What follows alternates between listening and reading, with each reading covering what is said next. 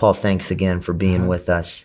I want to ask you about biblical masculinity. The idea of biblical masculinity is disappearing in today's culture, and yet we see that it is so important as we look at the scripture. Yes. Talk to me about biblical masculinity and why it's so important.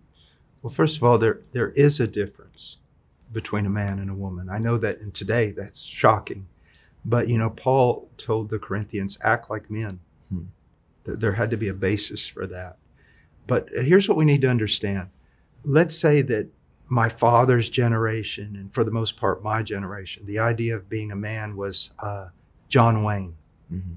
Okay. And if you watch some of the John Wayne movies, yeah, there was a lot of things noble about that, but there were a lot of things that weren't noble. So John Wayne and that type of thing isn't the model, the archetype of what a man is to be.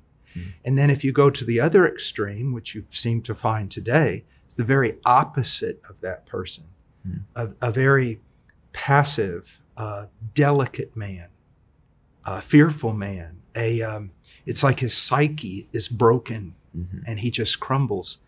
Um, part of that we need to realize is is one aspect of the judgment of God. Isaiah three is very clear about that. That um, we have young men ruling over older men. Noble men are removed from society, and and there's there's all sorts of things revealed there in, in Isaiah three. What we've got to realize is this: our main problem is simply again not studying the Bible our main problem is not looking at Mm. Christ or looking at Christ through some filtered lens rather than the raw scripture. My desire is not to be like John Wayne. It's also not to be like the other extreme. I want to set my sights on being like Jesus Christ. Now, also, I need to think about something. There is a headship in the family, and and I am to be the head of my home. That doesn't mean that I, um, you know, everything revolves around me. My headship serves one purpose: that I lead my home for the benefit of my wife and children, no matter how costly it is to me. My headship is sacrificial, and one of the things about being a true man, if we look at the model of Christ, it is self-giving and self-sacrifice. It's always look at what Christ did. He gave himself and gave himself and gave himself Mhm. until there was nothing left to give. That is my responsibility to my wife and my children. Also, if you want to talk about Christ is our protector, he stood in front of us, he stood in front of his bride.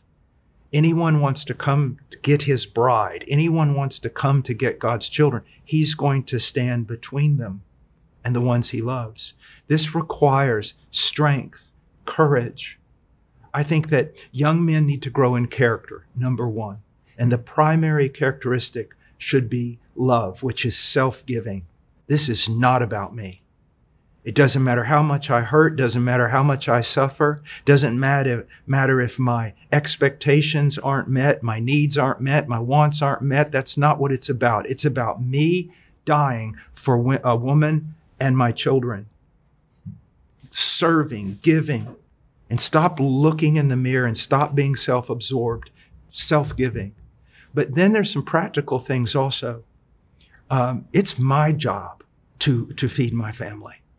And it doesn't matter, like in, in the rougher times when Heartcry was first starting out, working construction, doing all these different things, hours a day, coming home at night, whatever I had to do to put food on the table. That's my job.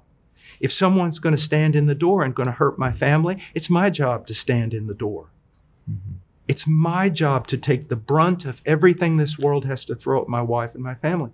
And so, you know, I was raised, we're, we raised Charolais cattle and quarter horses. So, I mean, it was rodeo from the word go. I mean, you know, and your dad, my dad would just, you're going to be tough.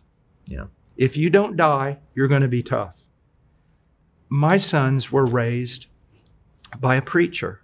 Yeah. And so, and they were homeschooled. So they weren't knocking about in football or rugby or, or this or that. And so I had to create scenarios, uh, physical scenarios for them. I made them work from the time they were little.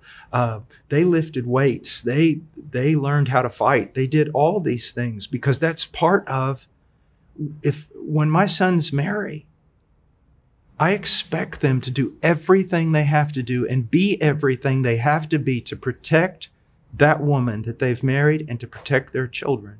Hmm. And so there's there's there's all kinds of things that go into that. Hmm.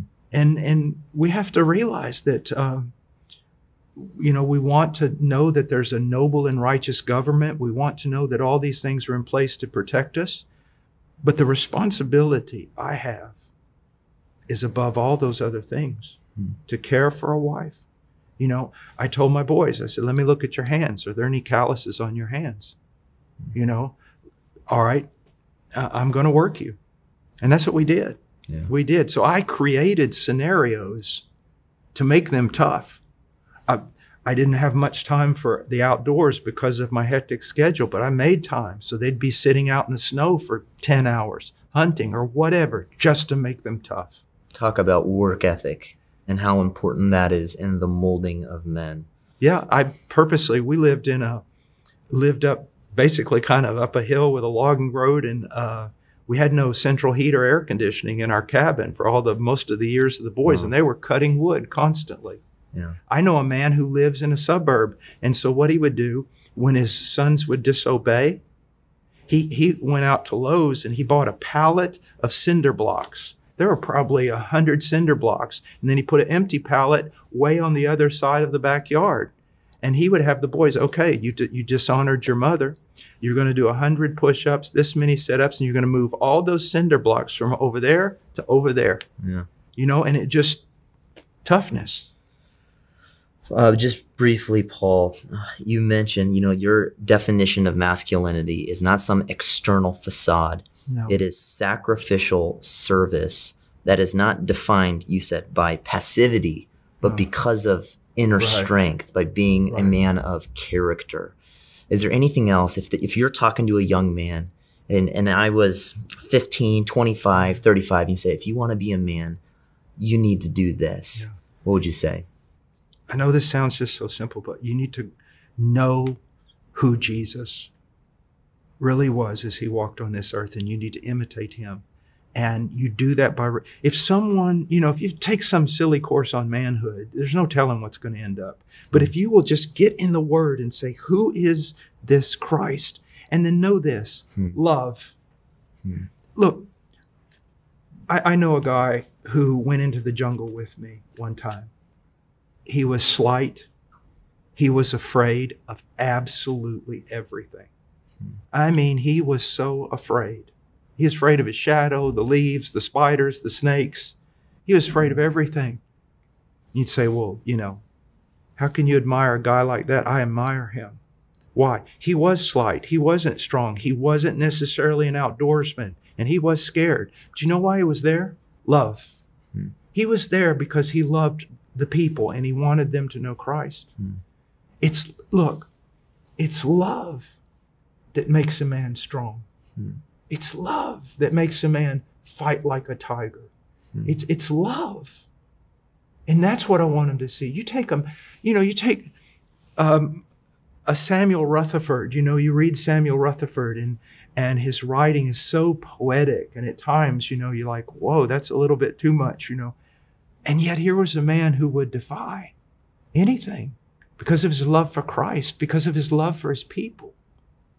And, and so you know, I don't want to build this.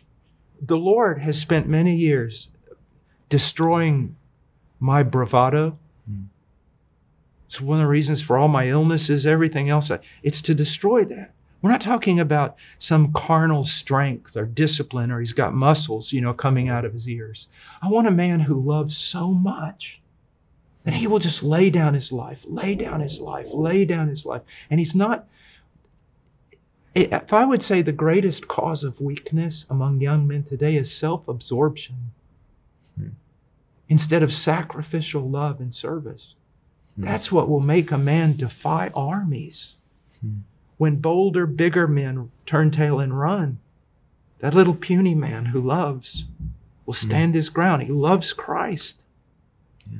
You know, and someone will say, Are you afraid? Yes, I'm afraid. There's been so many times I've been so afraid I didn't know what to do. What keeps you in those moments? Because you're going to face enemies that it doesn't matter who you are. This, this is not the movies. They're going to take you down. Hmm. And what makes you stand is not that you know Krav Maga. What's going to make you stand is you've been conformed to the image of Christ and you love. And as you said, act like men is a biblical command. Yes. So I'm thankful just for your clarity on relaying to us what that even means and how it's possible. So thank you so much, Paul. All right.